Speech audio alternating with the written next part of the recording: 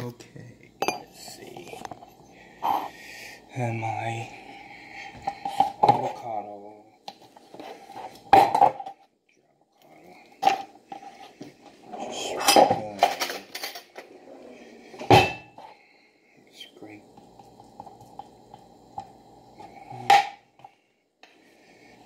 Spinach.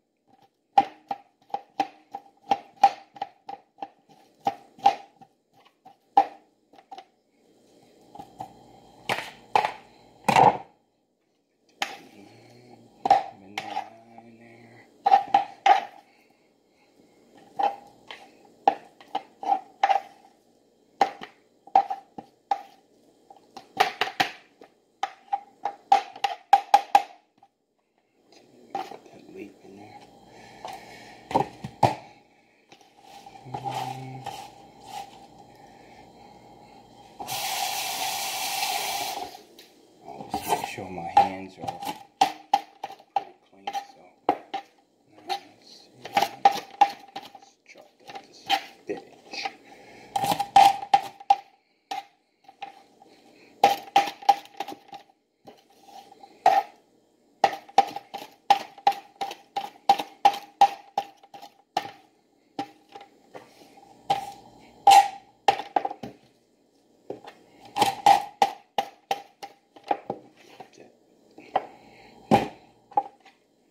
this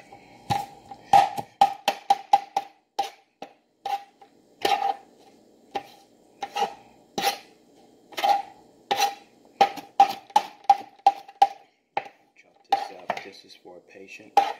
So